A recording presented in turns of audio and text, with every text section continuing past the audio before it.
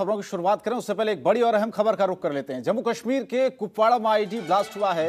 ये ब्लास्ट कुपवाड़ा में एलओसी के पास हुआ है और इस ब्लास्ट में सेना के दो जवान घायल हुए हैं। तो बड़ी खबर इस वक्त की, जम्मू के कुपवाड़ा में आईडी ब्लास्ट की खबर है। कुपवाड़ा में एलओसी के पास बताया जा रहा है कि आईडी ब्लास्ट हुआ है और इस आईडी ब्लास्ट में सेना के दो जवान घायल हुए हैं।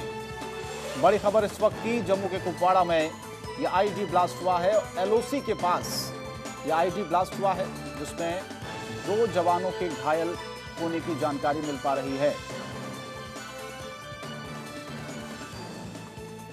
तो बड़ी खबर इस वक्त की, कुपवाड़ा में एलओसी के पास आईडी ब्लास्ट की खबर है और सेना के दो जवान इसमें घायल बताए जा रहे हैं।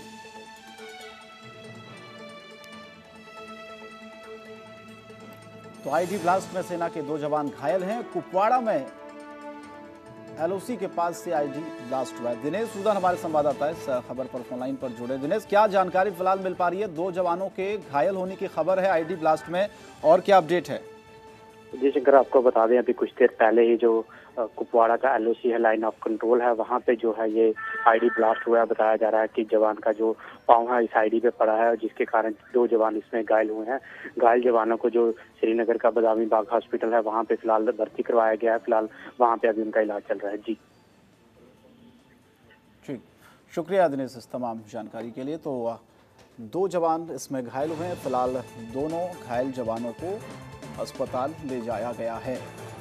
तो जम्मू के कुपवाड़ा में ये आईडी ब्लास्ट, जिसमें दो जवान घायल हुए हैं। फ़िलहाल दोनों को अस्पताल में इलाज के लिए ले जाया गया है।